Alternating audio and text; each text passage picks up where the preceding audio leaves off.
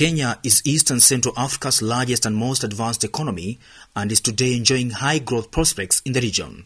This growth is largely driven by and hugely demanding of the country's most important resources, the people, their skills, and the talents.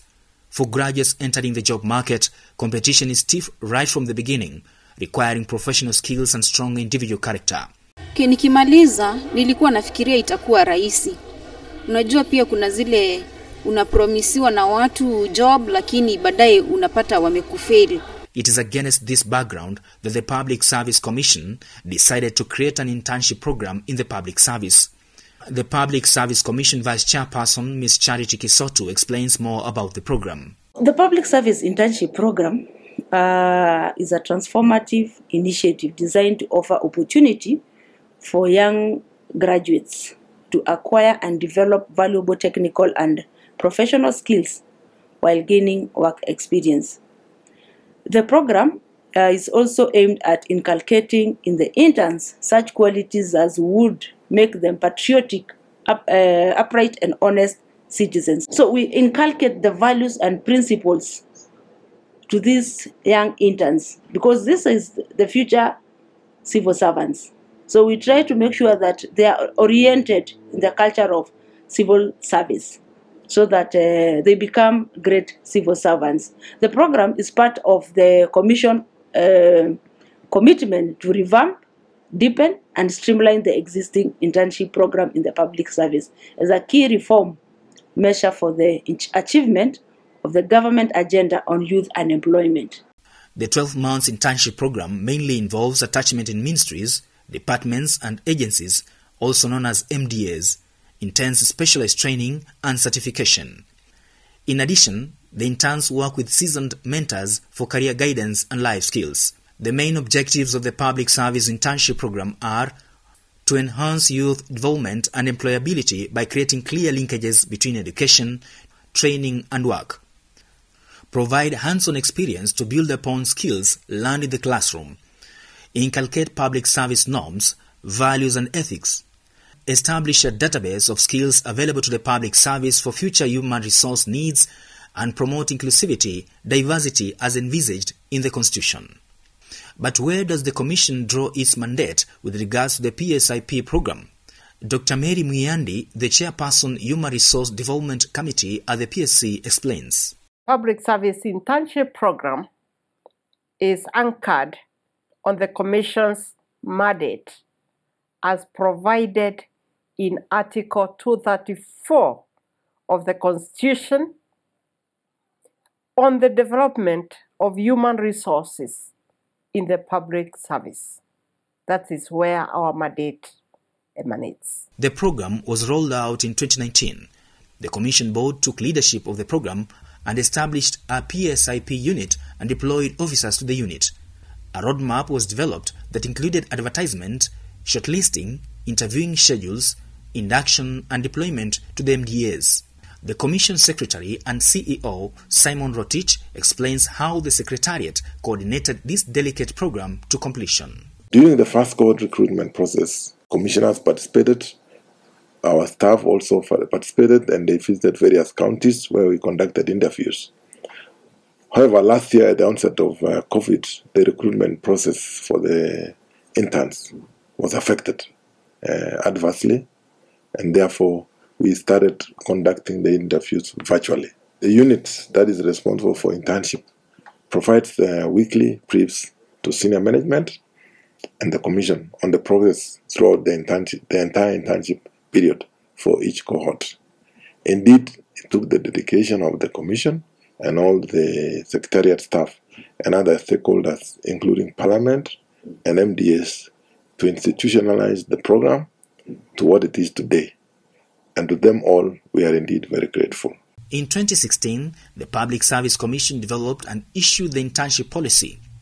Having monitored the policy implementation, the Commission noted that whereas the policy was intended to provide for the uniform management of internship programs across all MDAs, there were numerous challenges that hampered the attachment of the Commission's goal on the same, specifically on the issue of uniform norms and standards.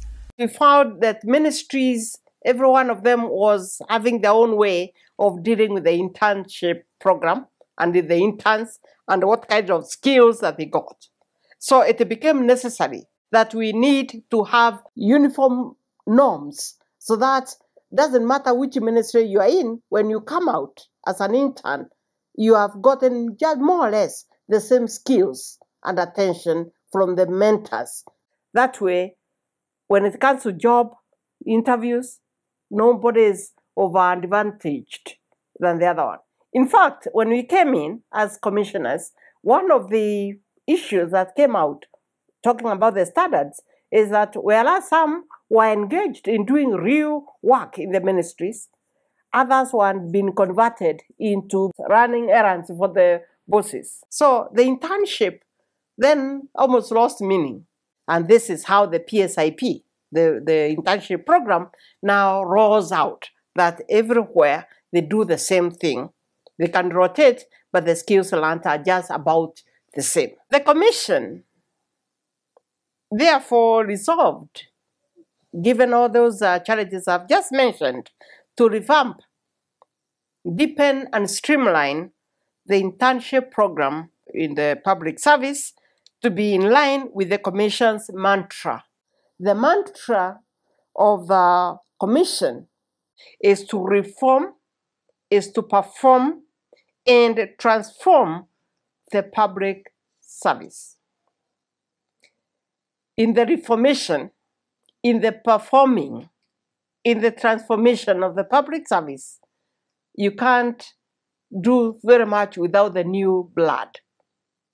So the interns are the good, important element of that whole process of reforming, of performing, and transforming public service. When it comes to recruitment, deployment, giving of the eh, stipend, and the evaluation of the interns is centralized in the commission. So far, up to where we are in the last, you know, two years, we have over 6,000 interns who have benefited from this program. And we still have some 3,000 of interns who are continuing and uh, you know we are going all the way to February to phase out the cohort three.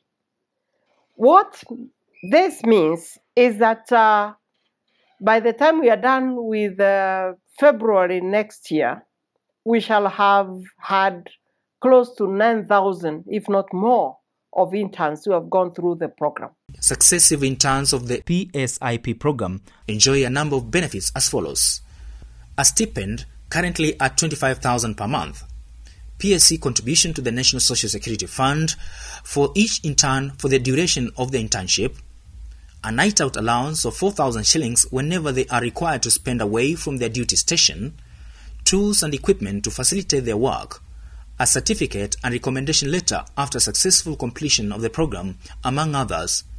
Dr. Mwiandi explains more. The benefits that the country would have from the program is that uh, it contributes to the formation of the human capital pool that provides wide market driven competencies and skills. It also helps to reduce youth unemployment levels in the country. Given some of these graduates, after leaving school, they haven't had any gainful employment. 25,000 is a lot. And from what I hear, some of them have even not only put them, you know, given themselves some kind of uh, earning, but they have also helped their siblings paying school fees and uh, medical expenses for their aging parents. So it's a, it's, a, it's a salary. So unemployment, part of it, even if it's for those 12 months, is, and it also opens up uh, these young men and women to look further and beyond just that degree to do more things. So as we roll out the program, we have brought in the element of inclusivity, where almost every corner of this country is represented in this program. This program, in many ways, enables them, the interns, to acquire hands on experience and skills that prepares them for gaining full economic engagement. It may be working in the government ministries, could be in NGOs, could be anywhere. They will never be the same again. Once people have gone through all this program, their, their chances of employability is higher. My name is Tom Wema, a PSIP intern attached at Public Service Commission. I work at the Public Communication Unit where I serve as a social media manager and most, mostly digital communication guy. I joined the PSIP program early this year, that's in February to be, uh, to be precise. And my experience has just be has just uh, gone beyond what I expected. I've been able to serve the public. Serving your country and serving your people is a great honor. I'd say I've learned a lot, and this program is really the future of this country and is the future of public service. My name is Mark Kamonya Mungara. I graduated from Multimedia University in the year 2015.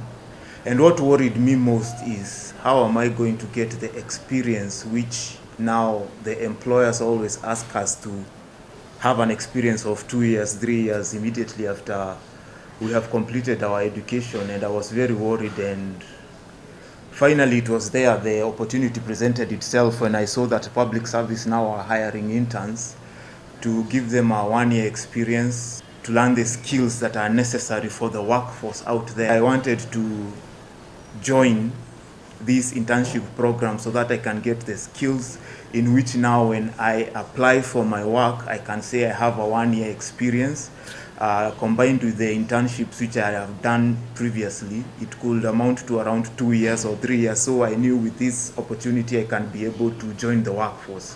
It presented itself at the right time when now I was uh, trying to engage myself to find work and start working out here in Kenya. The thing that really moved me is giving me the opportunity to work in government because previously I just thought government is what we see with the politicians out there. I didn't know that there were many state departments, which now I was hired under the State Department for Broadcasting in the Ministry of Information, Communication and Technology. And I was deployed at Nyayo House to work at Kenya News Agency, which is a government media a government media house that does everything other media houses do and it was really a moving experience. Give yourselves a big clap for that. Apart from the government of Kenya, the program has also attracted several other partners from the private sector who have been very supportive in many ways. The program is still fairly young, and uh, definitely we have still limited funds to increase the numbers. So at the onset, of course, we get monies from Treasury. Uh, we have partners, Absa, which is uh, formerly Barclays Bank, which came on board and has partnered with us, and also has sponsored induction and the commissioning of the programs, so which we do annually. The bank has also uh, offered to sponsor training for the mentors. We also have the Ajira program under the State Department for ICT, which has conducted a five-day training program for all the interns under GOTS 1 and 2. We also can't forget the National Treasury, which is a key player, and they provide funding for the program as is Parliament through the various committees that support the program. So we will continue approaching development partners uh, to come on board to support the program, which is still young. The, we are now doing the fourth cohort, and uh, we hope to continue attracting uh, more partners to come on board. Some of the key challenges that the program has experienced since its inception includes the following. The COVID-19 pandemic that disrupted planned activities, lack of sufficient operational funding, and the overwhelming number of applicants. But how has the Commission managed the situation? Last year, at the onset of uh, COVID, the recruitment process for the interns was affected uh, adversely, and therefore we started conducting the interviews virtually. The unit that is responsible for internship provides uh, weekly briefs to senior management and the commission on the progress throughout the, internship, the entire internship period for each cohort. Indeed, it took the dedication of the commission and all the secretariat staff and other stakeholders, including Parliament and MDAs, to institutionalize the program to what it is today. And to them all, we are indeed very grateful. To ensure that the PSIP program remains sustainable, the Commission started a plan to institutionalize the program in the Public Service Regulations 2020. But how is the recruitment process done to ensure that there is impartiality, equity, and fairness in the program? Entire process from when we advertise to when applicants get in their applications to the shortlisting to the interviews and getting them into their various MDAs as interns has followed common standard so that everybody is on the same level. We have a very transparent procedure that put in place the essence, the very essence of fairness. And uh, when I mean, what I mean by fairness here is that everybody who applies is given due consideration, regardless of where in this country they come from, regardless of what gender they are, regardless of whether or not they are living in disability or not. So, what you're saying here is that there is fairness to those who apply. We have also observed Uh, requisite constitutional provisions. What are these provisions? You may wonder. One is on the regional balancing. Like we say, the entire program, you see the face of Kenya. So all regions, and within regions are counties. Within the counties, there are constituencies. Within the constituencies, their wards. All these have been taken care of. Like I said, they are all represented in all those two, three cohorts that have, some have gone through it, others are in the process. I know the other one which counts at the everywhere is in gender. Gender, the men and women who have requisite skills and qualifications of their degrees have all been considered. Inclusion is part of what everybody talks about. Everybody is included in this. So all shortlists and appointments are published on the Commission's website. So one cannot really say you didn't know. The appointments, you get to know it from there. The name of the shortlisted candidates is known. And we even go further. We even indicate where they come from so that you can actually count. And uh, if there are areas that have not been represented, then we get to know very early. And uh, I'm glad to note that even the members of parliament, you know, they are very keen in knowing whether their constituency as people, let alone the candidates themselves. The, the interested groups are many, and that's why we publish it. You know, that's the openness. Uh, that's how open the commission is on this matter. So the available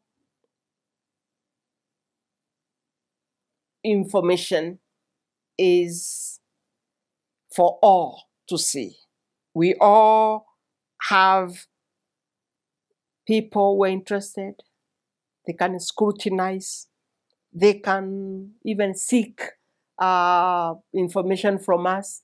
Their calls, it's not just the website. Some people call, others walk in. But with the COVID, of course, now the, the, the, the, the traffic is less. But uh, we have a calling center. So they call to find out why they have not been taken or why they, or some of them, of course, say, I can't come. Can you take the next person? I've gotten another job. So what you're saying here is that when it comes to the issues of integrity, the issues of the chapter 6 of the constitution, the commission has endeavored to follow it to the letter. Indeed, the internship program has been described as a game changer and a morale booster. Mercy Nyandika is one of the beneficiaries of the internship program, currently working at the Public Service Commission under the Department of Human Resource. She gives us her testimony on how the PSIP program has helped her improve professionally. Since joining the PSIP program, my mentors and coaches have helped me translate what I, what I learned in school into professional work. For instance, in school, I was theoretically taught about payroll management. But I'm glad now that PSIP program has given me the opportunity to do it practically.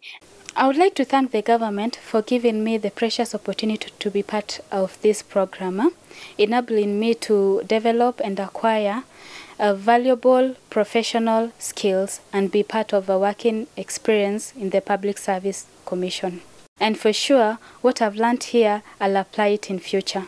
I'd really like to thank the Public Service Commission for such an opportunity and I really would like to see such a program continue to help Kenyans who are graduates and do not know the way forward or what to do after they have finished their school. It has been a really challenging experience, especially when the coronavirus hit the country. Uh, the workload went down, so I didn't gather much experience in those months where we were forced to stay back home, to work at home, and not much work was coming our way. So we really lost some few months there with this pandemic. After it has now subsided, we, I'm glad that we have been back to work and coming to the end of my internship program, I can say that I am experienced that I'm ready to go out there to get work and to prove that I have been trained by the government and I have come out a better individual than I was before. I have been an intern under the Public Service Commission, appointed back in 2019. I was later deployed to the Ministry of Interior under the Probation and Aftercare Services. My responsibilities as an intern included an ICT support and a probation officer. I did maintenance of computer and software resources in the office. I helped in the digitization of PACS data in the parks in the PACS department. I have done probation work. I have been trained as a probation officer. Prior to coming to this department, I actually had no idea that Kenya did have a probation department. And to the surprise of many and myself included, the probation department, I have come to learn that it is a it is one of the easiest link between Kenyans and the justice system. It is it, it acts as a bridge between people who are seeking justice and have no way to get the judge to hear their case.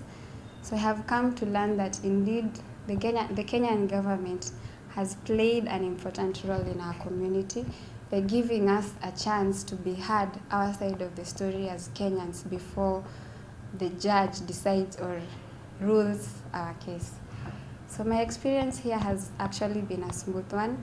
Not only have I gotten a chance to to implement or apply the skills that I learned in my major, I have also come to grow as a person.